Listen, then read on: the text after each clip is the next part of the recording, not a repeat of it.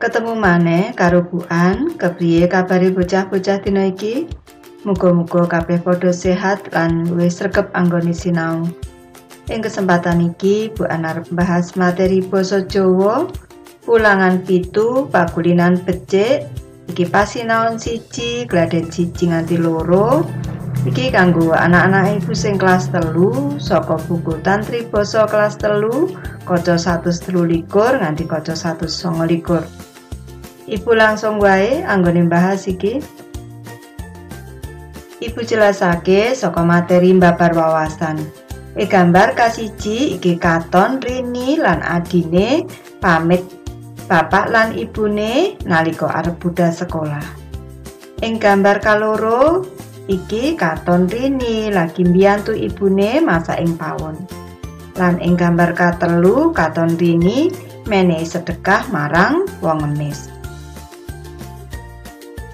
Wangsulana pitakon iki kanthi nggatekake gambar ing dhuwur. Iki ibu meneh tulodo wae wangsulane mengko bocah-bocah kudu sinau maneh. Pitakon sing nomor siji, apa panemumu ngenani gambar-gambar ing dhuwur? Wangsulane miturut panemuku, gambar-gambar ing dhuwur minangka tulodo pakulinan kang becik, becik utawa apik. Pitakon sing nomor loro, tulodo api opo sing bisa kok jupuk kang ana ing saben gambar? Wangsulane, tulodo api sing bisa dak jupuk saka gambar. Gambar kasiji yaiku pamit marang bapak ibu lan nyuwun donga pangestu yen arep sekolah. Gambar kaloro yaiku mbiyantu ibu masa ing pawon. Gambar katelu yaiku menehi sedekah marang wong emis. Pitakon sing nomor telu critakno panemumu marang kancamu ngenani saben gambar iku. Iki tulodo wangsulane. Miturut panemuku, pamit marang bapak ibu nalika arep sekolah kaya gambar siji, mujudake rasa hormat marang bapak lan ibu. Sing kaloro miturut panemuku ngrewangi ibu masak kaya gambar kaloro iku mujudake utawa wujud nindakake kewajibane anak biyantu marang wong tuwa. Sing katelu, miturut panemuku menehi sedekah marang wong ngemis kaya gambar telu iku wujud sikap peduli marang sapodo-podo sing mbutuhake pitulungan. Ibu terusake bahas pasinaon siji model teks pinile. Wacanen kanthi patitis. iki rairane budal sekolah. Dina iki dina Senin jam 5 esuk Rini wis tangi. Rini ora lali penggawean patinane yaiku nyapu jugan. Mau bengi Rini wis nyiapake buku kanggo pelajaran dina Senin iki. Buku disiapake Rini mau bengi sawise sinau.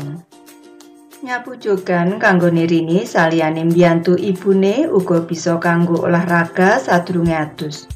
Jogan resik awak sehat kemringet banjur adus. Awak krasa seger nganggo seragam sekolah sing wis disiapake Bu Dewi ya ibune Rini. Saiki Rini wis katon rapi siap budal sekolah nanging isih siji sing kudu ditindakake yaiku sarapan. Sarapan uga wis cumepak ana ing meja. Ora kesuwen Rini tumuju meja saperlu sarapan. Sanajan mung tempe karo tahu, Rini tansah ngucap syukur marang Gusti Allah. Sabeno arep maem, Rini ora lali miwiti kanthi donga. Rini anggone maem cepet banget, mulane cepet rampung. Piring sing tilas kanggo maem digawa menyang papan korah-korah. Ora krasa jam tembok wis nuduhake jam 6.15 menit. Jam Yahmono iku Rini kudu enggal budal sekolah. Iki benere budal sekolah. Mulane Rini iki tulisane salah. Rini banjur nemoni bapak ibune saperlu pamitan. Salim lan nyuwun pangestu bapak ibune. Rini budal sekolah kanthi ati seneng, awak sehat lan seger. Gladen kasiji nyemak teks. Wangsulana pitakon ing ngisor iki kanthi ngatekake wacan budal sekolah. Sing nomor siji, jam pira Rini oleh tangi? Iki tulodo wangsulane, Rini oleh tangi jam 5 esuk. Pitakon sing nomor loro, apa penggaweane Rini saben dinane sawise tangi? Wangsulane, penggaweane Rini saben dina sawise tangi yaiku nyapu jugan. Pitakon sing nomor telu, sawise sinau apa kang ditindakake Rini? Wangsulane, sawise sinau Rini nyiapake buku pelajaran kanggo sekolah. Sing nomor papat, apa sing ditindakake Rini sadurunge lan sawise sarapan? Wangsulane, sadurunge sarapan Rini mbiyantu ibune nyapu jugan. Dene sawise sarapan, Rini nggawa piring tilas kanggo maem ing papan kora-kora banjur budal sekolah. Pitakon sing nomor 5, apa sing ditindakake Rini sadurunge budal sekolah? Wangsulane, sadurunge budal sekolah, Rini pamit marang bapak ibune, salim lan nyuwun donga pangestu. Katekno wacan ing isor iki. Ira-irane wacan aji saka Prabu Dewata Cengkar ratu ing Medang Kamulan.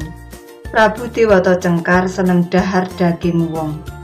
Mula wong-wong ing Medang Kamulan padha susah hatine. Padha wedi yen didahar Dewata Cengkar.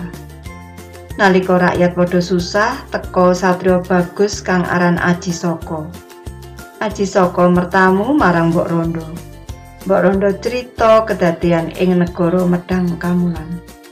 Aji Saka trenyuh hatine. Aji Saka duwe abdi loro cacahe kang aran Dura lan Sembodo. Dura lan Sembodo ditinggal ana ing Pulau Majedi. Wong loro mau didhawuhi njaga keris. Aji Saka weling marang Dura lan Sembodo. Sing nomor siji, Dura lan Sembodo ora kepareng nusul yen ora ditimbali. Sing nomor loro, kerise ora kepareng diwenehake sapa wae kajaba aji saka dhewe. Sawijining dina, aji saka nemoni Dewata Cengkar. Aji saka saguh didahar Dewata Cengkar nanging duwe panyuwun, yaiku nyuwun lemah saambane ikete. Dewata Cengkar nyagui. Aji saka njereng ikete. Jebul ikete ombo banget. Ambane nganti tekan segara kidul. Diwata cengkar ngetotake nalika tekan sapinggire segara kidul, diwata cengkar kecemplung segara. Diwata cengkar badar dadi boyo putih. Banjur Aji Saka diwisuda dadi ratu ing Medang Kamulan. Aji Saka ngutus duga lan prayoga nusul Dara lan Sembodo. Ing dalan wong loro iku kepethuk Dara. Dora banjur ngajak nusul Aji Saka. Sembodo ora gelem amarga ora ditimbali Aji Saka. Dora njaluk kerise. Sembodo ora ngulungake amarga dudu Aji dhewe kang njupuk. Usanane Dora lan Sembodo padha pasulayan. Dora lan Sembodo perang tanding. Loro-lorone tumekaning pati. Kanggo pangiling-iling lelakon iku, aji saka nganggit aksara Jawa cacahe 20. Aksara Jawa 20 iku mangkene. Hono caraka tegese ana utusan. Tata sawala tegese padha pasulayan. Padha jayanya tegese padha digdayane. Moga bathanga tegese padha matine. Gladhen kaloro mangsuli pitakon. Wangsulana pitakon ing ngisor iki. Bu mene tulodo wae wangsulane bocah-bocah kudu sinau maneh. Pitakon sing nomor siji, sapa jenenge ratu kang seneng mangan daging wong? Wangsulane ratu kang seneng mangan daging wong jenenge Prabu Dewata Cengkar. Sing nomor loro, sapa kang bisa nulung rakyat kang nandang susah iku? Wangsulane kang bisa nulung rakyat kang nandang susah yaiku Aji Saka. Sing nomor telu kanthi cara apa anggone nulung? Wangsulane cara anggone nulung yaiku ngalahake Prabu Dewata Cengkar nganti Prabu Dewata Cengkar badar dadi boyo putih ing segara kidul. Pitakon sing nomor papat, Satrio sing bisa nulung iku banjur diwisuda dadi apa? Wangsulane Satrio sing bisa nulung iku banjur diwisuda dadi ratu ing Medang Kamulan.